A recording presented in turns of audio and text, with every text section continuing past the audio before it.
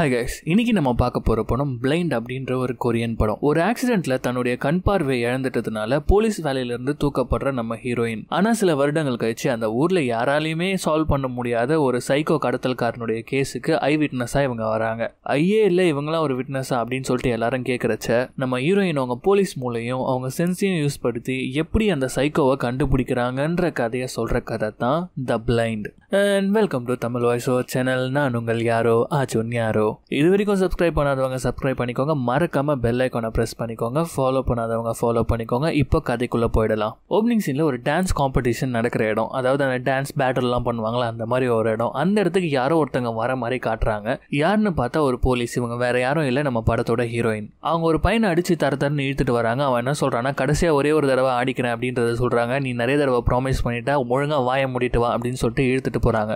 இவன் யாருன்னு பார்த்தா இவங்களோட தம்பி. இப்போ அந்த பையன் என்ன பண்ணுறான்னா அங்கேருந்து தப்பிச்சு போக ட்ரை பண்றான். அப்போ இவங்க அடிச்சு இழுத்துட்டு வந்து வண்டியில் ஹேண்ட் போட்டு மாட்டுறாங்க. அப்போ அந்த பையன் என்ன சொல்றான் நீ ஒன்றும் என்னோட உண்மையான அக்காலாம் இல்லை அப்படின்றத சொல்லும்போது நீயும் நானும் பதினாறு வருஷமாக வாழ்ந்துருக்கோம் ஒன்றா நீ என்னோட ஃபேமிலி தான் அப்படின்னு சொல்லிட்டு அவனை எடுத்துகிட்டு போகிறாங்க அவன் கெஞ்சிட்டே வரான் கடைசியாக ஒரு தடவை நான் ஆடிட்டு வரேனே அப்படின்னு சொல்லிட்டு. ஆனால் இவங்க எதுவுமே கேட்குற மாதிரியே இல்லை. இவங்க கூட அப்படியே பேசிக்கிட்டே வராங்க. அப்போ அந்த ஹேண்ட் கஃபோட சாவியை கூட அப்படின்னு சொல்லிட்டு அவன் பிடுங்க ட்ரை பண்ணும்போது கார் இப்படியும் அப்படியே ஆடி கடைசியில் ஒரு கார் வருதுன்னு சொல்லிட்டு திருப்புறாங்க. அவங்க ஒரு ஃப்ளைஓவர் மேலே போயிட்டுருக்காங்க. ஸோ கார் ஆக்சிடென்ட் ஆகுது. நம்ம ஹீரோயின் தூக்கி வெளியில் அடிக்கப்படுறாங்க. அப்படியே ஏஞ்சி கேராக பார்க்குறாங்க அவங்களோட தம்பி அந்த காருக்குள்ளே இருக்கா? அந்த காரை வந்து மேலேருந்து விடுற மாதிரி இருக்குது அவனை ஹேண்ட் கவர் பண்ணதுனால அவனால் அங்கேருந்து வெளியில் வர முடியல. அவன் காப்பாத்தாக்கா காப்பாத்தாக்கான்னு பயங்கரமாக கத்திட்டு இருக்கான் இவங்களும் பொறுமையாக கிட்ட போகிறாங்க பட் இவங்க மயங்கி விழுறாங்க. அவன் அங்கேருந்து அந்த ஹேண்ட் காஃப் எப்படியாவது அழுத்தலான்னு பார்க்குறான் பட் அந்த கார் மேலேருந்து விழுது. அந்த கார் ஒரு லாரி இடிச்சு அந்த இடத்துலேயே அவன் சாகுறான். ஸோ இப்போது மூணு வருஷம் கழிச்சு. ஒரு பிளைண்டோட வீட்டில் என்னென்னலாம் இருக்குமோ அதெல்லாமே நம்ம ஹீரோயின் வீட்டில் இருக்குது ஆமாம் நம்ம ஹீரோயினுக்கு அந்த ஆக்சிடெண்ட்டில் கண் பார்வை போயிடுச்சு. இங்கே செம்ம க்யூட்டான ஒரு டாக் இருக்குது இது பேர் சீல்கி நம்ம சில்கின்னு கூப்பிட்டுக்கலாம். ஸோ அந்த டாக் அவங்களை எழுப்புது. இவங்க ஏந்துக்கிறாங்க. இவங்க ஏஞ்சி அவங்க ரெடி ஆகிறாங்க. ஒரு பிளைண்ட் எப்படிலாம் ரெடி ஆவாங்களோ அந்த மாதிரிலாம் ரெடி ஆகுறாங்க. ரெடி ஆகிட்டு அந்த டாக் மேலே ஒரு காலர் மாதிரி போடுறாங்க. ஸோ இப்போதைக்கு அவங்களுக்கு வழிகாட்டுதலாக இருக்கிறது இந்த டாக் தான். ஒரு கைட் மாதிரி. ஸோ அதுக்கப்புறம் கிளம்பி போலீஸ் ஸ்டேஷன் போகிறாங்க எதுக்கு போகிறாங்கன்னா அவங்க வேலையை பற்றி கேட்கறதுக்காக போகிறாங்க அங்கே இருக்க ஆஃபீஸர் என்ன சொல்கிறாருன்னா உன் பார்வை போச்சுன்றதுக்காக தான் உன்னை வேலையை விட்டு நிறுத்தணும்னு நினச்சிட்டு இருக்கியா அப்படிலாம் எதுவுமே கிடையாது. ஆக்சுவலி நீ ட்ரைனிங்கில் போய் யாருக்குமே சொல்லாத போலீஸ் கார் எடுத்துகிட்டு போயிருக்க. அது மட்டும் இல்லாமல் உன் தம்பி ஹேண்ட் ஆஃப் பண்ணியிருக்க. அதனால தான் உன் தம்பி இறந்துருக்கான். ஸோ இந்த மாதிரி விஷயங்களுக்காக தான் உன்னை வேலையை விட்டே தூக்கணும். இதுக்கப்புறம் உனக்கு கிடைக்காது இந்த வேலை அப்படின்றத சொல்கிறாங்க ஸோ சோகமாக இவங்க ரோட்டில் நடந்து போயிட்டுருக்காங்க ஸோ இத்தனை வருஷத்துல இவங்க இப்போ தான் பயங்கரமாக ஃபீல் பண்ணுறாங்க அவங்களுக்கு கண் இல்லைன்னு சொல்லிட்டு இவங்க வந்து சிக்னலில் கிராஸ் பண்ண முடியல. அப்படி இடிச்சுக்கிட்டு விழுந்துடுறாங்க. அது மட்டும் இல்லாமல் வீட்டில் ஒரு சின்னதாக ஒரு குக் கூட பண்ண முடியல. கையெல்லாம் சுட்டுக்கிறாங்க. ஸோ இப்போதைக்கு இவங்களுக்கு ஒரே ஆறுதலாக இருக்கிறது அந்த டாகை தான். அந்த டாகுக்கு ஃபுட்டை போட்டு நல்லா பார்த்துக்கிறாங்க இப்போ தான் அவங்களுக்கு ஒரு கால் வருது. அவங்க ஒரு ஆஃப்னேஜில் தான் வளர்ந்துருப்பாங்க. அங்கே இருக்க மதர் கிட்டத்தட்ட இவங்களுக்கு அம்மா மாதிரி தான். என்னை வந்து பாரு அப்படின்றத கேட்டிருப்பாங்க. இங்கே அப்படியே கட் பண்ணி காட்டுறாங்க. யாரோ ஒரு பொண்ணு தலை தெறிக்க பயந்து ஓடி ஒரு வீட்டிலேருந்து வெளியில் ஓடி வர. அவள் தலைமுடியை பிடிச்சி அப்படியே தர தரன்னு உள்ளே இழுத்துட்டு போகிறான் ஒரு சைக்கோ காலையில் இந்த பொண்ணை பற்றி தான் நியூஸில் பேசிகிட்டு இருக்காங்க. இந்த மாதிரி இந்த பொண்ணு காணாமல் போயிட்டா அப்படின்னு சொல்லிட்டு. இந்த நியூஸை கேட்டுக்கிட்டே ரெடி ஆகிட்டு இருக்காங்க நம்ம ஹீரோயின் இன்னைக்கு வந்து அந்த ஆஃப்னேஜுக்கு அவங்க போக போகிறாங்க அவங்க வளர்ந்து இடத்துக்கு. ஸோ அந்த டாகை இன்றைக்கி கூப்பிட்டு போகல அப்படியே தனியாக போகிறாங்க ஸோ உள்ளே போகும்போதே அவங்களுக்கு ஃபீல் ஆகுது. அந்த இடத்துல தான் அவங்க சின்ன வயசுலேருந்து வளர்ந்துருப்பாங்க. ஸோ நிறைய சின்ன குழந்தைங்களாம் இவங்களை வந்து ரிசீவ் பண்ணுறாங்க ஸோ அவங்களோட மதரும் அங்கே வராங்க. ஸோ அவங்க பேசிகிட்டு இருக்காங்க நீ கொஞ்சம் அடிக்கடி நீ இங்கே வரணும் அப்படின்றதெல்லாம் பேசிகிட்டே இருக்கும்போது அப்போ என்ன பண்ணுறாங்கன்னா கையில் ஒரு டிவைஸ் எடுத்து கொடுக்குறாங்க. இந்த டிவைஸ் பார்த்தீங்கன்னா கிட்டத்தட்ட இது வந்து ஒரு வைப்ரேட்டர் மாதிரி. யாராச்சும் தூரமாக இருந்தாங்கன்னா லைட்டாக வைப்ரேட் ஆகும். கிட்ட வர வர அதிகமாக வைப்ரேட் ஆகுன்றத சொல்லிகிட்டே இருக்காங்க. ஸோ இதை கொடுக்க தான் என்ன கூப்பிட்டீங்களான்னும் போது அப்போ தான் ஒரு டிக்கெட் எடுத்து கொடுக்குறாங்க. என்னன்னா அவங்க தம்பி டான்ஸ் ஆடிட்டு இருந்தான் தெரியுமா? அந்த க்ரூவில் இருந்து இந்த வருஷம் ஒரு காம்படிஷன் இருக்கும். அவங்க தம்பிக்காக தான் அந்த காம்படிஷனே வச்சுருப்பாங்க. நீ வரணுன்றதை சொல்லும் போது என்னால் முடியாதுன்றாங்க. ஏன்னா இவங்க ரொம்ப ஹர்ட் ஆகி போயிருக்காங்க. அவங்க ஃப்ரெண்டில் ஒருத்தனை நான் கொண்டுட்டேன் என்னால் தான் அவன் செத்து போனான். என்னால் வர முடியாது அப்படின்னு சொல்லிட்டு அந்த டிவைஸை கூட வாங்காமல் கோவமாக அங்கேருந்து கிளம்பிடுறாங்க. என்னை நீங்கள் ஃபாலோ பண்ணிங்கன்னா அவ்வளோதான் உங்களுக்கு. நானாக போய்க்க தெரியும் எனக்கு அப்படின்னு சொல்லிட்டு வெளியில் வராங்க.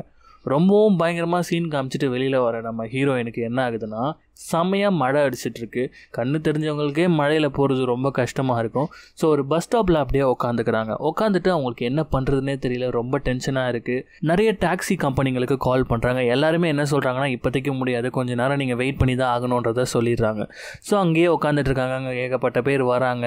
அவங்களுக்கு நிறைய சென்சஸ்லாம் இருக்குது ஸோ ஒரு கொடையை திறக்கிறது. இதெல்லாம் வந்து அவங்க வந்து அப்படியே இமேஜின் பண்ணி பார்த்துட்ருக்காங்க. நம்ம கிட்ட இத்தனை ஆளுங்க இருக்காங்கன்னு சொல்லிட்டு. ஸோ எல்லாரும் ஒவ்வொருத்தரும் அந்த பஸ் ஸ்டாப்லேருந்து போக ஆரம்பிச்சிடுறாங்க. இவங்க மட்டும் மட்டும் தனியாக உட்காந்துட்டு இருக்காங்க இப்போ திடீர்னு அங்கே ஒரு கார் வந்து நிற்குது இவங்களுக்கு அந்த சென்ஸ்லேயே வந்து ஓகேடா டாக்ஸி வந்துடுச்சுன்னு சொல்லிட்டு எங்கே போகணும்? அப்படின்றத அவர் கேட்கும்போது இந்த மாதிரி இங்கே போகணும் அப்படின்றத இவங்க சொல்கிறாங்க உடனே வாங்க அப்படின்றத சொல்லும்போது இவங்க பின்னாடி போய் ஏறி உட்காந்துக்கிறாங்க இவங்க உள்ளே போய் உட்காந்த உடனே அந்த டிரைவர் கையில் வாட்ச் குழுங்குற சவுண்ட் கேட்குது இவங்க அதை கேட்குறாங்க அது மட்டும் இல்லாமல் சீட்டை தொட்டு பார்க்குறாங்க லெதராக இருக்குது இவங்க என்ன சொல்கிறாங்கன்னா இது பயங்கரமான லெதராக இருக்குது நான் வந்து நார்மல் கேப் தான் புக் பண்ணேன். நான் வந்து டீலக்ஸ் கேப்லாம் புக் பண்ணல. என்கிட்ட காசுமே இல்லை. அப்படின்றத சொல்லும்போது அவர் என்ன சொல்கிறாருன்னா அதெல்லாம் ஒன்றுமே கிடையாது. நான் நார்மல் பேரே வாங்கிக்கிறேன் அப்படின்றத சொல்கிறாரு அது மட்டும் இல்லாமல் அவர் கண்டுபிடிச்சிட்டாரு உங்களுக்கு என்ன பார்வை கோளாறான்னும் போது ஆமாம் எனக்கு ஆக்சிடென்ட்டில் போச்சு அப்படின்றத சொல்லும்போது இப்போ நம்ம ஹீரோயின் என்ன கேட்குறாங்கன்னா கடைசியாக அதாவது டாக்டர்ஸ் அந்த மாதிரி ஏற்றுனீங்களா அப்படின்றத கேட்குறாங்க ஏன் அப்படி கேட்குறீங்க அப்படின்றது கேட்கும்போது எனக்கு மெடிசன் ஸ்மெல் வருது. அதனால தான் கேட்டேன். கேர்ள்ஸாக இருந்தால் மேக்கப் ஸ்மெல் தான் வரும். அதனால தான் கேட்டேன்றதை இவங்க சொல்கிறாங்க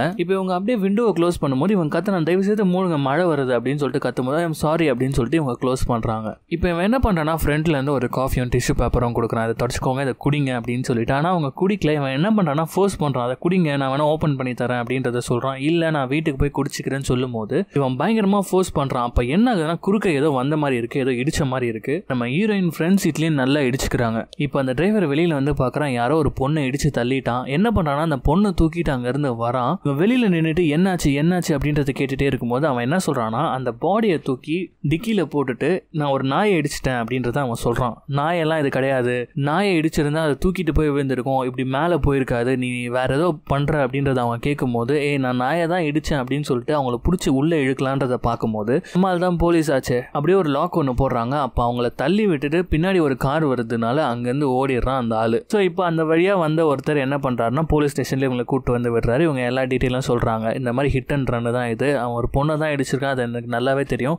ஏன்னா முனகிற சத்தம் எனக்கு கேட்டுச்சு அப்படின்றத சொல்லும்போது நாயை இடிச்சா கூட தான் முனங்கும் அப்படின்னு சொல்லிட்டு அங்கே இருக்கிற எல்லாருமே வந்து ரொம்ப அலட்சியமாக பேசுகிறாங்க சரி ஓகே இதுக்கு மேலே எங்கள் பேசினா வேலைக்கு ஆகாது வாங்க போகலாம் அப்படின்னு சொல்லிட்டு அங்கேருந்து கிளம்பி வீட்டுக்கு வந்துடுறாங்க நம்ம ஹீரோயின் இங்கே கட் பண்ணால் இப்போ இங்கேருந்து தப்பிச்சு ஒன்றா தெரியுமா டிரைவர் அவனோட இடத்த காட்டுறாங்க. கிட்டத்தட்ட ஒரு பேஸ்மெண்ட் மாதிரி இருக்குது அந்த இடத்துல அவன் நியூடாக நின்றுக்கிட்டு அந்த ஆக்சிடென்ட் ஆன பொண்ணை அப்படியே ஒரு மாதிரியாக பார்த்துட்ருக்கான் அது மட்டும் இல்லாமல் அந்த காரில் நம்ம ஹீரோயின் வந்து அவங்களோட டைரியை மிஸ் பண்ணிட்டு போயிருப்பாங்க.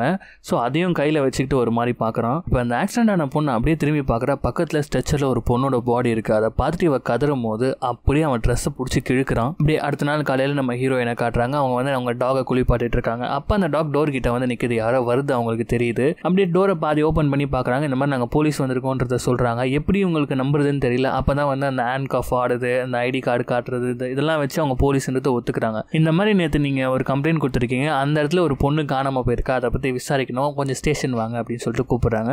சரி ஓகே நான் வரேன்றதை அவங்க சொல்கிறாங்க இங்கே ஸ்டேஷனில் இந்த கேஸை ஒரு காமெடி போலீஸ் கிட்ட அசைன் பண்ணுறாங்க அவருக்கு பெரிய ஷெர்லாக் ஓமுன்னு நினைப்பு. இந்த கண்ணு தெரியாத பொண்ணெல்லாம் எப்படி நான் விட்னஸாக வச்சுட்டு நான் பண்ணுறது அப்படின்றத கேட்குறாரு ஆக்சுவலி உன்னை வந்து எல்லாருமே காமெடி பீஸாக தான் பார்ப்பாங்க. அட்லீஸ்ட் இந்த கேஸையாவது ஒழுங்காக பண்ணுறா அப்படின்னு சொல்லிட்டு அந்த பாஸ் கொடுத்துட்டு அங்கேருந்து போயிடுறாரு. இவர் பெருசாக ப்ரில்லியண்ட்டாக விசாரிக்கிற மாதிரி பயங்கரமான கேள்விகள் கேட்குறேன்ற பேரில் உங்கள் பேர் என்ன எங்கேருந்து வரீங்கன்றதை கேட்குறாரு நம்ம ஆள் தான் போலீஸு. என்ன பேர் கேட்கறதுக்கும் அட்ரஸ் கேட்கறதுக்கு தான் இங்கே கூப்பிட்டு வந்தீங்களா? அப்படின்றது கேட்கும்போது இவர் இப்போ கொஞ்சம் பம்புறாரு. இப்போ ஹீரோயின் என்ன சொல்கிறாங்கன்னா அவன் மட்டும் டாகை இடிச்சிருந்தானா அது பவுன்ஸ் ஆகி முன்னாடி தான் போய் விழுந்திருக்கும். ஆனால் ஆக்சுவலி இடித்த பொருள் வந்து காருக்கு மேலே போய் பின்னாடி விழுந்தது அப்படின்றத சொல்கிறாங்க இந்த போலீஸில் ஆமா இல்லை இது நல்லா இருக்கே அப்படின்னு சொல்லிட்டு அதை நோட் பண்ணிக்கிறாரு. சரி ஓகே நீங்கள் கிளம்பலாம் அப்படின்றத சொல்லும் போது பாருங்க எனக்கு கண்ணு தெரியலன்னு தானே நீங்கள் இப்படி சொல்கிறீங்க இன்கேஸ் எனக்கு கண்ணு தெரிஞ்சிருந்தா நீங்கள் என்ன கொஸ்டின்லாம் கேட்டுட்டு இருப்பீங்களோ அதெல்லாம் கேளுங்க அப்படின்றத சொல்கிறாங்க இவர் பெருசாக கலாக்கிற மாதிரி அவன் என்ன கார் ஓட்டினா சரி ஓகே அவன் எப்படி இருப்பான் பார்க்கறதுக்கு சொல்ல முடியுமான்றதை சொல்லும் போது அவனுக்கு முப்பத்தஞ்சுலேருந்து நாற்பது வயசு இருக்கும். ஒரு ஒன் செவன்ட்டி சிக்ஸ் சென்டிமீட்டர்ஸ் இருந்தான். ஒரு நார்மலான ஃபிசிக் தான் அவனுக்குன்னு போது இவர் சிரிக்கிறாரு. உடனே இவங்க அந்த போலீஸோட இன்ஃபர்மேஷன்லாம் சொல்கிறாங்க உங்களுக்கு என்ன ஒரு முப்பத்தஞ்சு வயசு இருக்குமா? ஒல்லியான ஒரு உடம்பு. அது மட்டும் இல்லாமல் இன்னைக்கு மதியானத்துக்கு நீங்கள் வந்து பீன்ஸ் சாப்பிட்ருக்கீங்க அப்படின்றத சொல்லும்போது இவளுக்கு கண்ணு தெரியும் போல இருக்கே அப்படின்னு சொல்லிட்டு செக் பண்ணுறாரு இப்போ அவங்க சொல்கிறாங்க வாய்ஸை வச்சே நம்ம வந்து ரெகக்னைஸ் பண்ண முடியும். அது மட்டும் இல்லாமல் ஒரு வைப்ரேஷன் வச்சு இந்த மாதிரி டீட்டெயில்ஸ்லாம் சொல்ல முடியும் சொல்லும்போது சொல்லும் போது இப்போ இவர் என்ன சொல்கிறாருன்னா நிறைய டீட்டெயில் கிடைக்கும் பொழுது இந்த கேஸை நான் எப்படியாவது சால்வ் பண்ணி ஆகணும்னு சொல்லிட்டு நீ என்னென்னலாம் ஃபீல் பண்ணியோ எல்லாத்தையும் சொல்லு நான் எழுதிக்கிறேன் அப்படின்றத சொல்லும்போது இப்போ நம்ம ஹீரோயின் சொல்கிறாங்க ஃபர்ஸ்ட் அவன் இடிச்சது டாகே கிடையாது. அவன் எவிடன்ஸை மறைக்க பார்த்துருக்கான். ரெண்டாவது எனக்கு முன்னாடி அந்த டாக்ஸியில் யாரும் மெடிசன் ப்ராக்டிஸ் பண்ணுறவர் போயிருக்காரு. அது எனக்கு ஸ்மெல்லை வச்சு தெரிஞ்சிடுச்சு. தென் கண்டிப்பாக அவன் லெஃப்ட் ஹேண்டடாக தான் இருந்திருக்கணும். ஏன்னா அவன் ரைட் ஹேண்டில் வாட்ச் கட்டியிருந்தா அது எனக்கு நல்லாவே கேட்டுடுச்சு. அவன் விக்டம் இடிச்சதுனால அவன் காரில் பம்பரில் டேமேஜ் ஆயிருக்கும். ஸோ இப்போ நம்ம தேடுறவனுக்கு முப்பத்தஞ்சுலேருந்து நாற்பது வயசு இருக்கும். அவன் ஒரு லெஃப்ட் ஹேண்டட் ஒரு டீலக்ஸ் கேபை ஓட்டிகிட்டு இருக்கான். அவன் கார் பம்பர்லையும் கண்ணாடியிலையும் டேமேஜ் இருக்கும். ஐ திங்க் இதெல்லாம் வச்சு அவனை நம்ம கண்டுபிடிச்சிடலான்றது அவங்க சொல்லும் போது நம்ம காமெடி போலீஸ் அப்படியே மிரண்டு போயிடுறாரு. ஸோ இந்த டீட்டெயில்ஸ்லாம் வச்சு ஒரு விளம்பரம் மாதிரி கொடுக்குறாங்க. இந்த கேஸுக்கு தேவையான இன்ஃபர்மேஷன் கொடுக்குறவங்களுக்கு ரிவார்ட் தரப்படும் அப்படின்றத போஸ்டராக போடுறாங்க. போறாங்க அதை பார்த்துட்டு ஒரு பீட்சா டெலிவரி பாய் இங்கே வரான். அவன் வந்துட்டு என்ன சொல்கிறான்னா அது ஒரு ஃபாரின் கார் அது கேபே கிடையாது அப்படின்றத சொல்கிறான் நம்ம ஹீரோயின் தெளிவாக சொல்கிறாங்க அது கேப் தான் அப்படின்றத சொல்கிறாங்க உனக்கு முதல்ல கண்ணு தெரியாது எனக்கு நல்லா கண்ணு தெரியும் நான் பார்த்தேன் அப்படின்றத சொல்கிறான் இவங்க ரெண்டு பேரும் சொல்கிறதையும் கேட்டுட்டு அப்படியே போதையில் உட்காந்துட்டு இருக்காரு போலீஸ் ஆஃபீஸர் இப்போ நம்ம ஹீரோயின் மடக்குறாங்க. இங்கே நல்லா மழை பெஞ்சிட்டு இருந்து உன்னால் சரியாக பார்த்துருக்கவே முடியாது அப்படின்றத சொல்லும் போது இல்லை நான் பார்த்தேன். அவன் அந்த பொண்ணை பின்னாடி சீட்டில் உட்கார வச்சான் அப்படின்றத சொல்லும் போது ஹீரோயின் பிடிச்சிடுறாங்க. அவன் வந்து போடுறது டிக்கில. நீ எப்படி பின்னாடி சீட்டுன்னு சொல்லலாம். அப்போ நீ போய் சொல்கிற சரி ஓகே அப்படியே நீ பார்த்துருந்தானா? அன்னைக்கு நைட்டு நீ போலீஸில் இன்ஃபார்ம் பண்ணிருக்கணுமா இல்லையான்ற மாதிரி கேள்வி கேட்டுகிட்டே இருக்காங்க. அவன் திருப்பி திருப்பி என்ன சொல்கிறான் அந்த பாருங்க நான் சரியாலாம் பார்க்கல. ஆனால் அது ஒரு ஃபாரின் கார் அது எனக்கு நல்லாவே தெரியும் அப்படின்றத அவன் சொல்கிறான் இப்போ தான் ஹீரோயின் பிடிக்கிறாங்க. அப்போனா நீ இந்த ரிவார்ட் பண்ணதுக்காக தானே நீ இங்க வந்திருக்க? போய் தானே சொல்கிற அப்படின்றத சொன்னோம் நம்ம போலீஸ் ஆஃபீஸர் என்ன பண்றாருன்னா அந்த பையன் முடிய பிடிச்சி அப்படியே தூக்கின்னு போயிடுறாரு வெளியில். அப்போ அவன் போகும்போது என்ன சொல்கிறான்னா அவங்களுக்கு கண்ணே தெரியல. அவங்க சொல்கிறத நம்புறீங்க. எனக்கு கண்ணு தெரியும். ஆனால் நான் சொல்கிறத நம்பல போங்கடா அப்படின்னு சொல்லிட்டு அவன் போயிடுறான். இப்போ நம்ம ஹீரோயினும் போலீஸ் ஆஃபீஸரும் அப்படியே காரில் போகிறாங்க இப்போ இன்ஸ்பெக்டருக்கு தெரிஞ்சு போச்சு நம்ம ஆள் ஒரு போலீஸ்னு. சாதாரண போலீஸில் ரொம்பவும் கிளவரான போலீஸ் அப்படின்னு சொல்லிட்டு தெரிஞ்சு போச்சு. இவங்கள வச்சு எப்படியாவது இந்த கேஸை முடிச்சு ப்ரொமோஷன் வாங்கிடணும்டா அப்படின்றத பார்க்குறாரு அதனாலே பயங்கரமாக ஐஸ் எல்லாம் வச்சுட்டு வராரு. நீங்கள் பிளைண்டாக இருந்தாலும் பயங்கர பிரில்லியன்ட்டுங்க அப்படின்னு சொல்லிட்டு இழிச்சிக்கிட்டே வராரு. பின்னாடி அந்த டாக் க்யூட்டாக இருக்குல்ல?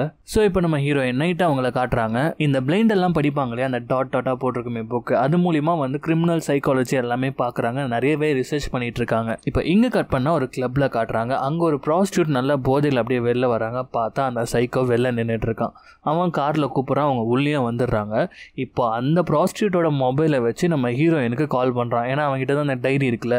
இவங்களும் ஹலோ ஹலோன்னு இருக்காங்க ஆனால் அவன் பேசவே இல்லை. இப்போ அப்படியே அந்த ப்ராஸ்டியூட்டை காட்டுறாங்க. இவன் ஏதோ பண்ணிட்டான் அப்படியே அவங்க மயங்குறாங்க. அப்படியே அந்த ப்ராஸ்டியூட்டை தூக்கிட்டு போயிடுறான். இப்போ அடுத்த நாள் நம்ம போலீஸ் இன்ஸ்பெக்டரை காட்டுறாங்க. நம்ம ஹீரோயினை கார்லேயே வச்சுட்டு இவர் பயங்கரமாக இன்வெஸ்டிகேஷன்லாம் பண்ணுறாரு நிறைய இடங்களுக்கு யாராச்சும் பம்பர் ரெடி பண்ண வந்திருக்காங்களா? நிறைய டிரைவர்கள் கூட பேசுகிறாரு அப்போ என்ன பண்ணுறாருன்னா ஒரு பென் ரெக்கார்டரில் ரெக்கார்ட் பண்ணிவிட்டு அதை நம்ம ஹீரோயினுக்கு போட்டு காட்டுறாரு. அவங்க இவன் இல்லை அவன் இல்லை அப்படின்றதெல்லாம் சொல்லிகிட்டே இருக்காங்க. இவர் விசாரணை பண்ணுறது மட்டும் இல்லாமல் அந்த டாகை நல்லா வெறுப்பேற்றுறாரு சாப்பாடு கொடுக்காம. அது மட்டும் இல்லாமல் அந்த டாகோட பயங்கரமாக விளையாடிட்டுலாம் இருக்காரு. பாருங்களேன் எப்படி வெறுப்பேற்றிட்டு இருக்கான் அந்த டாகை. இப்போ ஹீரோயின் எல்லா ரெக்கார்டையும் கேட்டுட்டு இல்லை யாருமே இல்லைன்றதை சொல்லும்போது எப்படி கண்டுபிடிப்பீங்கன்றதை கேட்கும்போது அவனுக்கு கண்டிப்பாக லங் ப்ராப்ளம் இருந்திருக்கும். அது எனக்கு நல்லாவே தெரிஞ்சதுன்றதை சொல்லும்போது இதெல்லாமா கேட்கும் உங்களுக்கு? அப்படின்றத சொல்லும்போது ஆமாம் நீ கூட நிறைய ஸ்மோக் பண்ணுறன்றதை சொல்கிறாங்க அப்படியே அவன் ஷாக் ஆயிடுறான். உங்கள் எதிர்க்க நான் ஸ்மோக்கே பண்ணலையே அப்படின்னு சொல்லிட்டு காரில் பேசிட்டே வரான்.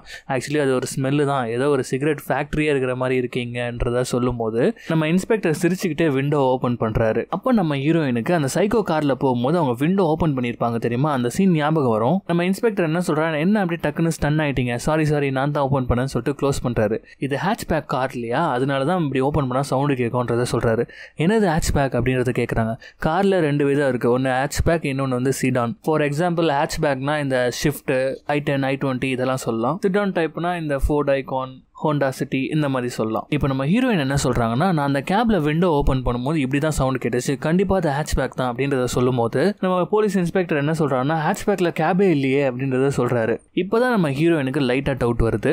ஏன் அந்த சின்ன பையன் சொன்னது உண்மையாக இருக்கக்கூடாது? நம்ம ஏன் கேபுன்னு தப்பாக நினச்சிட்டு இருக்கோம் அப்படின்றத யோசிக்கிறாங்க. அந்த சின்ன பையனோட நம்பர் இருக்கா அப்படின்றத கேட்குறாங்க அப்படியே கட் பண்ணால் அந்த சின்ன பையனை ஃபாலோ பண்ணிட்டு அந்த சைக்கோ வரான். இப்போ இந்த சின்ன பையன் வந்து ஃபோனில் பேசிட்டே வரான் யாரு கூடயும் இவங்க ட்ரை பண்ணுறாங்க எங்கேஜ்டாகவே இருக்குது இப்போ இந்த சைக்கோக்கு இந்த சின்ன பையனை எப்படி தெரிஞ்சிருக்கோன்னா அங்கேருந்து அவன் கார் எடுத்துட்டு கிளம்பும் போது இவனை பார்த்துருப்பான் அவன். அதனால தான் அப்பத்துலேருந்து இவனையும் ஃபாலோ பண்ணிட்டு இருப்பான். இப்போ இந்த சின்ன பையன் உஷாராயிரான் நம்மளை யாரோ ஃபாலோ பண்ணிட்டு வராங்கன்னு சொல்லிட்டு அங்கேருந்து ஓட ஆரம்பிக்கிறான். இப்படியே ஒரு வழியாக தப்பிச்சிடலாம் அப்படின்னு சொல்லிட்டு ஒரு இடத்துல ஒளிகிறான் அந்த நேரம் பார்த்து நம்ம இன்ஸ்பெக்டர் கால் பண்ண மாட்டிப்பான்னு நினச்சா அவன் மாட்டிக்கல தப்பிச்சிடுறான். இப்போ அப்படியே பொறுமையாக வெளியில் வரான். ஒரு வழியாக நம்ம தப்பிச்சிட்டோம்டா அப்படின்னு சொல்லிட்டு நடந்து வந்துட்டே இருக்கான். இப்போ பின்னாடியிலேருந்து வந்த அந்த சைக்கோ ஒரு பெரிய கல் எடுத்து இந்த சின்ன பையன் தலையிலேயே ஒரு அடி அடிக்கிறான். அப்படியே ரத்தத்தோட கீழே விழுறான் அந்த பையன். இப்போ அந்த இடத்துக்கு யாரோ வரும்போது அந்த சைக்கோ அங்கேருந்து ஓடி போயிடுறான் இவங்க அந்த சின்ன பையனை தேடிட்டு அந்த ஏரியாக்கே வராங்க.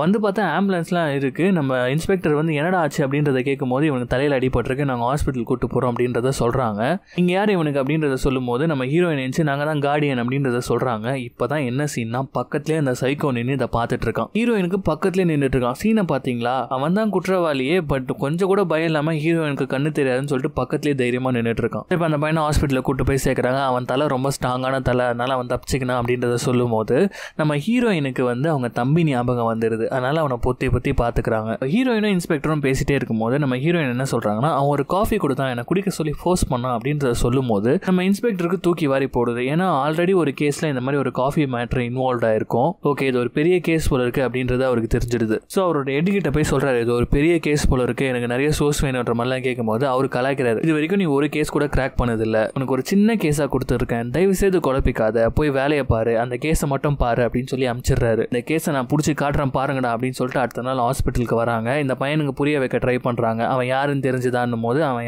யாரெல்லாம் எனக்கு தெரியாது. என்னை முதல்ல விடுங்க நான் வீட்டுக்கு போகணும் அப்படின்றத சொல்லும் போது என்னடா வீட்டுக்கு போகணும்? இந்த கேஸ்க்கு ஹெல்ப் பண்ணுறான்னும் போது யோ நான் தான் சொல்கிறேன்ல அது கேப் கிடையாது அது ஃபாரின் கார்னு அதே நீ முதல்ல கேட்க மாட்டேன் இந்த குருடி பேசி தானே கேட்குறேன்றதை அவன் சொல்லும் போது இவங்களுக்கு கொஞ்சம் மரியாதை கொடுக்குறியா? அவங்க நைட்டு ஃபுல்லாக உன்னை தம்பி மாதிரி பார்த்துட்டாங்க தெரியுமான்னும் போது என்னது தம்பி மாதிரி? அவங்களால தான் நான் இந்த இடத்துல இருக்கேன் அப்படின்னு சொல்லிட்டு அவன் டென்ஷன் ஆகி போயிடுறான். இப்போ நம்ம ஹீரோயின் ரொம்பவும் சேட் ஆயிடுறாங்க. இன்ஸ்பெக்டர் கிட்ட என்ன சொல்கிறாங்கன்னா அவ்வளோதான் முடிஞ்சிருச்சு. நான் ஒரு பிளைண்ட் விட்னஸ் தானே. என்னால் இதெல்லாம் கண்டே பிடிக்க முடியாது.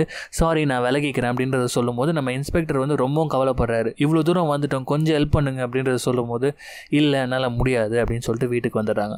வீட்டுக்கு வந்துட்டு ரொம்ப சேடாக அவங்க போலீஸான வீடியோவெல்லாம் பார்த்துட்டு அப்படியே படுத்து தூங்கிட்டு இருக்காங்க. இப்போ அவங்களுக்கு ஒரு ஃபோன் வருது.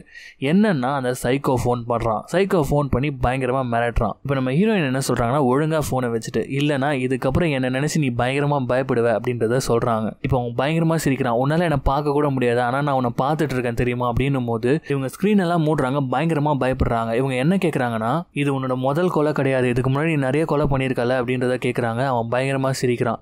ஸோ இது முதலாக கடைசியான்றது உங்கள் ரெண்டு பேர்கிட்ட தான் இருக்குது நீயும் அந்த சின்ன பையனும் அமைதியாக ஒதுங்கிடுங்க. அப்படி இல்லைன்னா ரெண்டு பேருமே காலி ஆகிடுவீங்க அப்படின்றத அவன் சொல்கிறான் இப்போ டக்குன்னு நம்ம ஹீரோயின் என்ன பண்ணுறாங்கன்னா இன்ஸ்பெக்டர் கால் பண்ண பார்க்குறாங்க ஆனால் அவரை ரீச் பண்ண முடியல. இங்கே ஹாஸ்பிட்டலில் இந்த பையன் என்ன பண்ணுறான்னா அவங்க ஃப்ரெண்ட்ஸோட ஹெல்ப்போட இங்கேருந்து எப்படியாவது தப்பிச்சு போகணும் அப்படின்றத பார்த்துட்ருக்கான் ஃபோனை ஆன் பண்ண உடனே இவனுக்கு வந்து நம்ம ஹீரோயின் கிட்ட இருந்து மெசேஜ் வருது. இவன் வந்து இவங்களுக்கு என்ன ஓவராக பாசத்தை புரியுறாங்களே அப்படின்னு சொல்லி திரும்பினா பார்த்தா அவங்க வந்து நிற்கிறாங்க இங்கேருந்து தயவு செய்து போகாத உனக்கு ஒரு பெரிய ஆபத்து இருக்குது அப்படின்றத சொல்லிகிட்டே இருக்கும்போது அந்த ஆபத்தெல்லாம் நாங்கள் பார்த்துக்குறோம் அப்படின்னு சொல்லிட்டு இப்போ நம்ம ஹீரோயின் கையை பிடிச்சி கெஞ்சுறாங்க. நான் உனக்கு அக்கா மாதிரின்றத சொல்கிறாங்க எனக்கு இந்த மாதிரி ஒரு குருட்டு அக்காலாம் இல்லை அப்படின்னு சொல்லிட்டு கையை தட்டி விட்டுட்டு அவன் போயிடுறான். அப்படியே பின்னாடி காட்டுறாங்க. பார்த்தா அந்த சைக்கோ அங்கே உட்காந்துட்டு இருக்கான். ஸோ இப்போ அந்த மெட்ரோ ஸ்டேஷனில் அப்படியே உட்காந்துட்டே இருக்கான். அப்போ பார்க்குறான் ஆப்போசிட் ட்ரெயினில் வந்து நம்ம ஹீரோயின் ஏறுதை பார்க்குறான். அப்படியே பார்த்துட்டு அப்பா ஒரு வழியாக கிளம்புறாங்கடா அவங்க அப்படின்னு நினச்சிட்டே இருக்கான். பார்த்தா பின்னாடி அந்த சைக்கோ ஏறிடுறான். இந்த சின்ன பையனுக்கு செமையாக தூக்கி வாரி போயிடுது. அவனுக்கு அந்த சைக்கோவை தெரியும் இல்லையா? இவனுக்கு என்ன பண்ணுறதுனே தெரியல. இப்படி அப்படியுமா ஓடுறான். இப்போ என்னென்னா அந்த கம்பார்ட்மெண்ட்டில் ஒரு ரெண்டு பேர் இருக்காங்க. இந்த சைக்கோ ரெடியாக இருக்கான். இவங்களை ஏதாவது பண்ணிடலாம் அப்படின்னு சொல்லிட்டு. இந்த டைமில் தான் அந்த சின்ன பையன் வந்து நம்ம ஹீரோயினுக்கு கால் பண்ணுறான் கால் பண்ணி என்ன சொல்கிறான்னா தயவு செய்து எதுவும் பேசாதீங்க. நான் சொல்கிறத மட்டும் ஹெட்ஃபோன் போட்டுட்டு கேளுங்க அப்படின்றத சொல்கிறான் அப்படியே வீடியோ கால் ஆன் பண்ணுங்கன்றத சொல்லும் போது இந்த மாதிரி அந்த சைக்கோ உங்கள் ஆப்போசிட்டில் தான் இருக்கான். இன்னும் கொஞ்சம் நேரத்தில் அவன் உங்களை எது வேணாலும் பண்ணலாம் அதனால் நான் சொல்கிறத பண்ணுங்க அப்படின்றத சொல்கிறான் கேமராவை அப்படியே லெஃப்ட் ரைட்டு திருப்புங்கன்னும் போது உனக்கு ஆப்போசிட்டில் தான் உட்காந்துட்டே இருக்கான். அதனால் அடுத்த ஸ்டேஷன்லேயே நீங்கள் இறங்கணும் அப்படின்றத சொல்கிறான் நம்ம ஹீரோயினும் வந்து கொஞ்சம் பயத்தை மூஞ்சில் காட்டிக்காமல் ஹெட்ஃபோனில் கேட்டுட்டு அடுத்த ஸ்டேஷனில் இறங்குறதுக்கு பார்க்குறாங்க ஸோ அவங்க இறங்கி அப்படியே நடக்க ஆரம்பிக்கிறாங்க. இவன் ஃபோனில் வந்து அப்படியே இன்ஸ்ட்ரக்ஷன் கொடுத்துட்டே இருக்கான். நேராக போங்க லெஃப்ட்டில் போங்க அப்படின்றத சொல்லிகிட்டே இருக்கான். பொறுமையாக போங்க வேகமாக போகாதீங்க இதெல்லாம் சொல்லிகிட்டே இருக்கான். இப்போ அங்கே பஸ்ஸில் யாரோ ஒருத்தர் போகிற மாதிரி இருக்கும். டக்குன்னு ஹெல்ப்னு கத்துங்க அப்படின்றத இவன் சொல்லிகிட்டே இருக்கிறதுக்குள்ள பின்னாடி வந்து அந்த சைக்கோ வந்து கத்தியை வச்சிடறான். அந்த சர்ஜிக்கல் நைஃப் மாதிரி ஒன்று இருக்கும் அதை வச்சிடறான் பின்னாடி. கத்தினா போட்டுருவோம் ஒன்று அப்படின்றத சொல்கிறான் இவங்க கத்த முடியல இவங்களால. அமைதியாக அவங்க அடங்கிடுறாங்க. இவன் ஃபோனில் வந்து அக்கா அக்கான்னு கத்திட்டே இருக்கான். இப்போ டக்குன்னு என்ன பண்ணுறாங்கன்னா நம்ம ஹீரோயின் பெப்பர் ஸ்ப்ரே எடுத்து இவன் மேலே அடிச்சுட்டு அங்கேருந்து ஓட ஆரம்பிக்கிறாங்க. ஸோ அந்த டாகோட ஹெல்ப்போட ஓடுறாங்க. அது மட்டும் இல்லாமல் இவன் ஃபோன்லேயும் சொல்லிட்டு இருக்கான். லெஃப்ட்டில் போங்க ரைட்டில் போங்கன்னு சொல்லிட்டு. அந்த சப்வேலேயே ஒரு பாத் மாதிரி போட்டு வச்சுருப்பாங்க. ஸோ அதை வச்சுட்டு இவங்க ஓடுறாங்க. அப்படியே வேகமாக ஓடிட்டே இருக்கும்போது தடுக்கி கீழே விழுந்துடுறாங்க. அந்த டாக் இவங்க விழுந்ததை பார்க்காம அது பாட்டு ஓடிட்டே இருக்குது இப்போ அது நின்று இவங்க கிட்ட வர ட்ரை பண்ணும்போது இவங்க என்ன பண்ணுறாங்கன்னா சரி நம்ம ஓடிடலாம் அப்படின்னு சொல்லிட்டு ஓட ஆரம்பிக்கிறாங்க. ஸோ அப்படியே வேகமாக ஓடி போகிறாங்க அப்போ என்ன ஆகுதுன்னா அங்கே ஒரு லிஃப்ட் இருக்குது அந்த லிஃப்ட்டில் போயிட்டு இவங்க ஏறிடுறாங்க. கூடவே அந்த டாகும் உள்ளே வந்துடுது ஆனால் கரெக்டாக மூட போகிற நேரத்தில் அந்த சைக்கோ உள்ளே வந்துடுறான். ஸோ இவங்கள மயக்கடிக்க வைக்கிறதுக்காக ஒரு இன்ஜெக்ஷன் எடுத்து கழுத்தில் குத்தலான்னு போகிறான் பார்த்தா அவனால் குத்த முடியல. என்னன்னு பார்த்தா பின்னாடி அந்த டாக் இவனை காலை கடிச்சு அப்படியே தர தரன்னு வெளியில் இழுக்குது. பட் இங்கே தான் ஒரு சேடான சீன் இவனுங்க ஏன் இப்படி பண்ணுறானுங்கன்னே தெரியல. அந்த சைக்கோ அவன் கையில் இருந்த நைஃபை வச்சு அந்த டாகை ஏடா கூடமாக குத்துறான். ஆனால் அந்த டாக் அவனை விடவே இல்லை. அந்த லிஃப்ட்டு மூடுற வரைக்கும் இவனை பிடிச்சி அப்படியே வெளியிலேயே இழுத்துட்டு வருது. கடைசியில் அந்த லிஃப்ட்டும் மூடுது. இந்த டாகும் அப்படியே ரத்த கிளறியா சாகுது. இந்த கொரியன் படங்கள்ல ஏன் இந்த மாதிரி பெட்டெல்லாம் சாவடிக்கிறாங்கன்னே தெரியல. ஸோ இப்போ ஒரு வழியாக நம்ம ஹீரோயின் தப்பிக்கிறாங்க கண் முழிச்சு பார்க்குறாங்க ஹாஸ்பிட்டலில் எழுந்து எங்கே என் நாய் அப்படின்றத கேட்குறாங்க இப்போ அந்த சின்ன பையன் அந்த காலரை மட்டும் கொடுக்குறான். இவங்க பயங்கரமாக கதறி அழுகுறாங்க. இப்போ இவன் மனசில் ஒரு பாசம். அந்த அக்கா பாசம் வந்துடுச்சு. இவங்க ஏன் அப்படி அழுவுறாங்கன்னு சொல்லிட்டு இன்ஸ்பெக்டர் வந்து நம்ம ஹீரோயினை செக் பண்ண டாக்டர் கிட்ட பேசும்போது அந்த இடத்துல இருந்த இன்ஜெக்ஷன் எடுத்து காட்டுறாரு. இது வந்து மோஸ்ட்லி டாக்டருங்க கிட்ட மட்டும்தான் இருக்கும் அப்படின்றத சொல்லும் போது ஷாக் ஆயிடுறாரு. இப்போ கட் பண்ணால் ஸ்டேஷனில் காட்டுறாங்க. இவன் பயங்கரமாக செக் பண்ணிகிட்டே இருக்காங்க. இந்த சின்ன பையன் வந்து கூகுளெல்லாம் செக் பண்ணி இந்த கார் தான் அப்படின்றத சொல்லிடுறான். ஸோ அந்த காரை பேஸ் பண்ணி இந்த காரை வச்சிருக்க டாக்டர்ஸ் எல்லாம் எத்தனை பேர் சொல்லிட்டு அதை ரிசர்ச் பண்ணலாம் அப்படின்னு சொல்லிட்டு நம்ம இன்ஸ்பெக்டர் பயங்கரமாக இன்வெஸ்டிகேட் பண்ணிட்டு இருக்காரு. இப்போ நம்ம ஹீரோயினுக்கு வேறு உடம்பு சரியில்லையா? அதனால அந்த ஹீரோயினும் அந்த பையனையும் நம்ம ஹீரோயின் வளர்ந்தாங்க இல்லையா? அந்த அனாதை இல்லத்துக்கு அனுப்பி வைக்கிறாங்க. கூடவே ஒரு போலீஸ் ஆஃபீஸரையும் அனுப்புகிறாங்க சேஃபாக பார்த்துக்கோங்க இவங்களை அப்படின்னு சொல்லிட்டு அங்கே அனுப்பி வைக்கிறாங்க. நீங்கள் பயப்படாமல் போங்க. இந்த கேஸை சூப்பராக முடிச்சிடலாம் அப்படின்னு சொல்லிட்டு அனுப்புகிறாரு அந்த இன்ஸ்பெக்டர் இங்கே கட் பண்ணால் இந்த சைக்கோவை காட்டுறாங்க. இவன் ஒரு டாக்டர் ஸோ அப்படியே கேஸ் எல்லாம் ஒன்றா வந்துடுச்சா? இப்போ அவன் கூகுள் பண்ணி பார்த்துட்டே இருக்கான். அந்த சப்வேல நடந்த விஷயங்கள்லாம் நியூஸில் வந்திருக்கான்னு பார்த்தா வந்திருக்கு. அது மட்டும் இல்லாமல் நம்ம ஹீரோயினை பற்றியும் வந்திருக்கு. ஸோ அவங்கள பற்றி ரிசர்ச் பண்ணுறான் அப்போ வந்து அந்த அனாதலயத்தை பற்றி படிக்கிறான். ஸோ இப்போ அந்த சின்ன பையனை வந்து கூப்பிட்டு போகிறாங்க நம்ம ஹீரோயின் வந்து அந்த அனாதலயத்துக்கு உன் வீடு மாதிரி நினச்சிக்கோ அப்படின்றத சொல்கிறாங்க ஸோ இவனும் உள்ளே வரான் போய் பார்க்குறான். எல்லாரு கூடயும் நல்லா மிங்கிள் ஆகிறான். அப்போ தான் வந்து அந்த மதர் வந்து ஒரு மிஷின் கொடுத்துருப்பாங்களே வைப்ரேட்டர் அதை பார்க்குறான். அதை பார்த்துட்டு இதையும் அவன் யூஸ் பண்ணலன்றதை கேட்கும்போது என் மேலே ஒரு சின்ன கோவத்தில் இருக்கா? அதனால தான் அவன் யூஸ் பண்ணலன்றத சொல்கிறாங்க இவனை கூட்டிட்டு போய் கீழே பேஸ்மெண்ட்டில் தங்க வைக்கிறாங்க. அந்த பேஸ்மெண்ட்டில் ஆல்ரெடி ஒருத்தன் தங்கியிருப்பான். அது யாருன்னா நம்ம ஹீரோயினோட தம்பி. ஸோ அங்கே இருந்த ஃபோட்டோஸ் எல்லாத்தையும் பார்த்துட்டு இவன் ரொம்பவும் ஃபீல் ஆகுறான். ஸோ அன்றைக்கி நைட்டு வந்து நம்ம ஹீரோயினோட தம்பி இறந்துருப்பார் தெரியுமா? அவருக்கு ட்ரிபியூட்டாக ஒரு டான்ஸ் காம்படிஷன் நடந்திருக்கும். அதுக்காக வந்து அங்கே இருக்கிற எல்லாருமே போகிறாங்க பட் நம்ம ஹீரோயின் போகல ஸோ நம்ம ஹீரோயினும் அந்த சின்ன பையனும் அங்கே தான் சேஃபாக இருக்காங்க. இங்கே கட் பண்ணால் நம்ம இன்ஸ்பெக்டர் வந்து அந்த காரை தேடி பயங்கரமாக அலைஞ்சிட்ருக்காரு ஒரு வழியாக நம்ம சைக்கோவோட காரை தேடிட்டு வந்துட்டாரு. அவரோட கிளினிக்கு கீழே பார்க்கிங்க்கு வந்து வந்துட்டாரு. இப்போ அந்த காரை பார்த்துட்டே இருக்கும்போது அந்த சைக்கோ அந்த இடத்துக்கு வரான். இந்த கார் யாரோடதுன்னு தெரியுமா? அப்படின்றத கேட்குறாரு டக்குன்னு அவன் வேற காரோட கீ எடுத்து பக்கத்து காரில் ஏறி நான் கிளம்பணும் அப்படின்னு சொல்லிட்டு போகிறான் அப்போ தான் நம்ம இன்ஸ்பெக்டர் நோட்டீஸ் பண்ணுறாரு அவன் லெஃப்ட் ஹேண்டட்ன்றத ஸோ அப்படியே நோட்டீஸ் பண்ணுறாரு அந்த காரோட டீட்டெயில் அந்த கண்ணாடியிலே இருக்கும். ரெண்டு காரும் பார்த்தா ஆல்மோஸ்ட் சேம் நம்பர் மாதிரி இருக்கும். இவர் டக்குன்னு என்ன பண்ணுறாருன்னா அந்த ரெக்கார்டர் எடுத்து ஆன் பண்ணலாம் அப்படின்னு சொல்லிட்டு கிட்ட போகிறாரு கிட்ட போயிட்டு உங்களோட ஐடி கார்டு கொடுங்கன்ற மாதிரிலாம் கேட்டுகிட்டே இருக்கும்போது இப்போ நம்ம சைக்கோவுக்கு வந்து கொஞ்சம் உஷாராயிடுறான். டக்குன்னு என்ன பண்ணுறான்னா போட்டு செம்மடி அடிக்கிறான் நம்ம இன்ஸ்பெக்டரை. நம்ம இன்ஸ்பெக்டரும் பயங்கரமாக போட்டு அவனை அடிக்கிறாரு. ரெண்டு பேரும் செம்மையாக சண்டை போட்டுகிட்டே இருக்கும்போது ஒரு கட்டத்தில் அந்த சைக்கோக்கு ஹேண்ட் காஃப் போடலாம் அப்படின்றத நம்ம இன்ஸ்பெக்டர் ட்ரை பண்ணும்போது அவன் சர்ஜிக்கல் நைஃபை வச்சு அவரோட கழுத்துலேயே குத்திடுறான். ஸோ அந்த இடத்துலயே நம்ம இன்ஸ்பெக்டர் ரத்த வெள்ளத்தில் இறந்து போகிறாரு இப்போ ஒரு ப்ரூஃபும் கிடையாது. இங்கே கட் பண்ணால் நம்ம ஹீரோயினும் அந்த சின்ன பையனும் காட்டுறாங்க. அந்த சின்ன பையன் என்ன சொல்கிறான்னா இப்போ வந்து ஆறுதலாக சொல்லிட்டு இருக்கான். நீங்கள் கொஞ்சம் சிரிக்கலாம்ல அப்படின்னு சொல்லிட்டு சிரிப்பேத்துறான். அது மட்டும் இல்லாமல் கண்டிப்பாக நான் ஒரு போலீஸ் ஆகணுன்றது எனக்கு தோணுது அப்படின்றத சொல்லிட்டு இருக்கான். ஆனால் கண்டிப்பாக நம்ம காமெடி போலீஸ் மாதிரி ஆகிட மாட்டேன்னு சொல்லிட்டே இருக்கும்போது நம்ம இன்ஸ்பெக்டர் மொபைல்லேருந்து அந்த சின்ன பையனுக்கு வேற அறியோ அப்படின்னு சொல்லிட்டு ஒரு மெசேஜ் வருது. தொப்பரங்க பேசிகிட்டே இருந்தோம் அதுக்குள்ளே மெசேஜ் பண்ணுறாரு இவர் அப்படின்னு சொல்லிட்டு இந்த மாதிரி நாங்கள் ஆஃப்னேஜில் இருக்கோம் இங்கே யாருமே இல்லை அப்படின்னு சொல்லிட்டு இவன் ரிப்ளை பண்ணுறான் ஆக்சுவலி அந்த மெசேஜ் யார்கிட்டேருந்து வருதுன்னு பார்த்தா சைக்கோ கிட்டேருந்து தான் வருது. ஸோ இவன் இப்போ ஆஃப்னேஜுக்கு போயிட்டு இருக்கான். இந்த கேப்பில் அந்த போலீஸ் ஸ்டேஷனில் வந்து கரெக்டான ஆளை பிடிச்சிருவாங்க. இந்த சைக்கோவோட ஃபோட்டோ இவன் ஒரு டாக்டராக இருந்திருக்கான். இவன் வந்து ஒரு க்ரைம் பண்ணியிருக்கான் நிறைய பேஷண்ட்டை வந்து வந்து இவன் செக்ஷுவலாக பேஸ் பண்ணியிருக்கான். அது மட்டும் இல்லாமல் ஜெயிலேருந்து ரெண்டு மாதத்துக்கு முன்னாடி தான் வெளில வந்திருக்கான்றதெல்லாம் பிடிச்சிடுறாங்க. இங்கே கட் பண்ணால் இந்த சைக்கோ வந்துட்டு ஆஃப்னேஜுக்கு அது மட்டும் இல்லாமல் அந்த பாதுகாப்புக்காக இருந்த போலீஸையும் கொண்டுட்டான் கொண்டுட்டு வீட்டுக்குள்ளே உட்காந்து சிகரெட் பூச்சின்னு சவுண்டாக சாங்கை போட்டுன்னு உட்காந்துட்டு இருக்கான் நம்ம ஹீரோயின் மேலேருந்து இறங்கி வராங்க. யார் யாருன்னு கேட்டுகிட்டே வராங்க. அவன் பொறுமையாக அப்படியே கொலை பண்ணலான்னு கிட்ட வரும்போது இங்கே வந்து அந்த சின்ன பையன் கத்துனா அக்கா ஓடுங்க அப்படின்னு சொல்லிட்டு கத்துறான். பார்த்தா அவங்களுக்கு ஒரு சின்ன விஷுவல் மாதிரி வந்துட்டே போகுது அந்த சைக்கோட மூஞ்சு. அப்படியே டக்குன்னு இவங்க கீழே விழுந்துடுறாங்க. அந்த சைக்கோ இவங்களை கொலை பண்ண பார்க்குறான் பட் அந்த சின்ன பையன் தடுத்துட்டே இருக்கான். டக்குன்னு இந்த சைக்கோ என்ன பண்ணுறான்னா கத்தி எடுத்து வயிற்றுலேயே குத்திடுறான். அந்த சின்ன பையன் அப்படியே பொத்துன்னு அதே இடத்துல விழுந்துடுறான். இப்போ நம்ம ஹீரோயின் போயிட்டு என்ன பண்ணுறாங்கன்னா டோட்டலாக அந்த பில்டிங்கோட கரண்ட்டையே பிளாக் பண்ணுறாங்க இந்த சைக்கோ சிரிக்கிறான் என்ன சில்லித்தனமாக இது பண்ணிட்டு இருக்கு அப்படின்னு சொல்லிட்டு லைட்டர் வெளிச்சத்தோட மேலே வரான். இப்போ ஃபோனை வேற கீழே போட்டாங்க அது கட்டில் கடியில் போயிடுச்சு இவங்க தேட முடியல. ஆனால் நம்ம ஹீரோயினுக்கு ஆல்ரெடி கண்ணு தெரியாது. அந்த சென்ஸை வச்சு அவங்கிட்ட இருந்து பயங்கரமாக தப்பிக்கிறாங்க. இப்போ கீழே இந்த சின்ன பையனை காட்டுறாங்க அவன் ஃபோனை ரீச் பண்ண பார்க்குறான் பட் கிட்ட போய் மயங்கி கீழே விழுந்துடுறான். அவ்வளோதான் அவனால் ஒன்றுமே முடியல. இங்கே மேலே நம்ம ஹீரோயின் என்ன பண்ணுறாங்கன்னா இந்த வில்லனை பயங்கரமாக டைவெர்ட் பண்ணி ஒரு ரூமுக்கு கொண்டு வந்து ஒரு வெயிட்டான வாஷிங் மிஷினை வச்சு அவனை லாக் பண்ணிவிட்டு கீழே வராங்க. இந்த சின்ன பையனோட ஃபோன் அடிச்சுட்டே இருக்குது அதை எடுக்கலான்னு வேகமாக ஓடி வராங்க. கீழே அந்த சின்ன பையன் இருக்கான். தடுக்கி கீழே விழுந்து இவங்க பயங்கரமாக ஷாக் ஆயிடுறாங்க. இப்போ ஃபோனை விட்டுறாங்க. இந்த பையனை காப்பாற்றுறதுக்காக அவன் மேலேருந்து கதுவெல்லாம் உடச்சிட்டு வந்துட்டு இருப்பான். அப்படியே இவங்க என்ன பண்ணுறாங்கன்னா இந்த பையனை எடுத்துகிட்டு ஒரு ரூமில் போயிட்டு கதுவை லாக் பண்ணுறாங்க இவன் வெளியிலேருந்து உள்ளே வரதுக்கு கதவு உடச்சிருக்கான். இவங்க அந்த டைமில் வந்து இந்த பையனுக்கு மருந்தெல்லாம் போட்டு விடுறாங்க.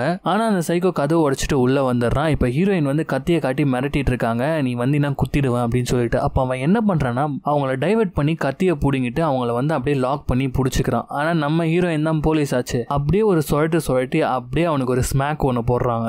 செம்மடி கையெல்லாம் உடஞ்சிது செம காண்டாயிடுறான் சைக்கோ இங்கே கட் பண்ண அந்த போலீஸ் ஆஃபீஸர்லாம் காட்டுறாங்க. இந்த சைக்கோவோட வீட்டுக்கே போயிட்டாங்க. அங்கே போயிட்டு ரெஸ்கியூ பண்ணுறாங்க ஒரு பொண்ணு மட்டும் உயிரோட இருக்கா? கடைசியாக கடத்தின பொண்ணு.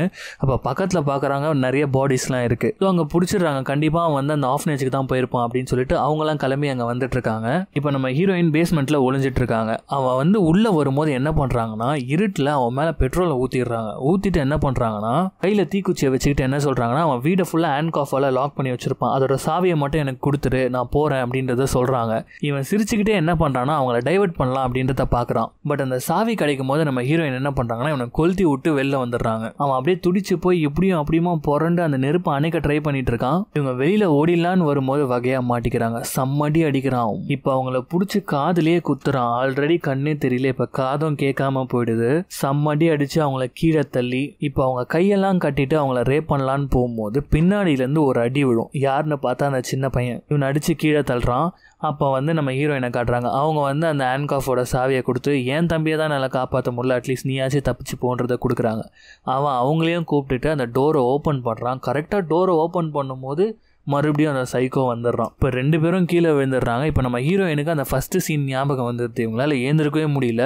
அவன் என்னன்னா அந்த சைக்கோ அந்த சின்ன பையனை போட்டு செம்மடி அடிச்சுட்டே இருக்கான். அப்போ தான் அவங்களுக்கு தோணுது அந்த ஃபஸ்ட்டு சீனில் அவங்க தம்பியை காப்பாற்றுற மாதிரி ஒரு இல்யூஷன் வருது. கார் கண்ணாடியை உடைக்கிற மாதிரி. என்னன்னு பார்த்தா இங்கே வந்து நம்ம சைக்கோவோட கார் கண்ணாடியை உடைக்கிறாங்க. அதனால அலாரம் சவுண்ட் வருது. அந்த சவுண்டை கேட்டுட்டு இவன் வரான். அந்த சின்ன பையனை அடிக்கிறதையும் நிறுத்திட்டு இவன் வரான். அப்படியே நடந்து வந்துட்டே இருக்கான். இவங்களை போட்டு அடிக்கலாம்னு சொல்லிட்டு கையில் கத்தியோட வரான். மொத்தமாக முடிச்சிடலாம் அப்படின்னு சொல்லிட்டு. இப்போ நம்ம ஹீரோயின் கார் கண்ணாடியை வச்சுட்டு கையில் செங்கலோட நின்றுட்டு இருக்காங்க இப்போ கண்ணும் தெரியல காதும் கேட்கல சரியா? ஆனால் அவங்க கையில் அந்த சின்ன பையன் அந்த வைப்ரேட்டரை கொடுத்துருப்பான். அந்த வைப்ரேட்டர் ஆனில் இருக்கு. ஸோ அவன் கிட்ட வருது அந்த வைப்ரேட்டரில் தெரியும். ஸோ பயங்கரமாக கால்குலேட் பண்ணுறாங்க கரெக்டாக அவங்க சென்ஸை யூஸ் பண்ணி அவன் கிட்ட வரும்போது அந்த செங்கலை எடுத்து செவிலே ஒன்று வைக்கிறாங்க. அப்படியே அவன் சுருண்டு கீழே விடுறான் அப்படியே இவங்களும் கீழே விடுறாங்க ஸோ எல்லாம் முடிஞ்சதுக்கப்புறம் போலீஸ் வராங்க. ஸோ எப்படியோ இவங்க ஒரு வழியாக அந்த கேஸையும் சால்வ் பண்ணிட்டாங்க. அந்த சைக்கோவையும் பிடிச்சி கொடுத்துட்டாங்க. என்ன அந்த இன்னசென்ட்டான டாகும் அந்த இன்ஸ்பெக்டரும் இறந்து போயிருப்பாங்க. ஸோ இப்படியே இந்த படத்தை முடிக்கிறாங்க. கொஞ்சம் லென்த்தாக போயிடுச்சு பட் இப்படி சொன்னால் தான் சுவாரஸ்யமாக இருக்கும்னு சொல்லிட்டு தான் சொல்லியிருக்கேன். So once again this is your Tamil voice O channel நான் உங்கள் அர்ஜுன் யாரோ. சப்ஸ்கிரைப் பண்ணாதவங்க சப்ஸ்கிரைப் பண்ணிக்கோங்க. மறக்காமல் பெல் ஐக்கானை ப்ரெஸ் பண்ணிக்கோங்க. ஃபாலோ பண்ணாதவங்க ஃபாலோ பண்ணிக்கோங்க. மீண்டும் ஒரு படத்தில் சந்திக்கலாம்.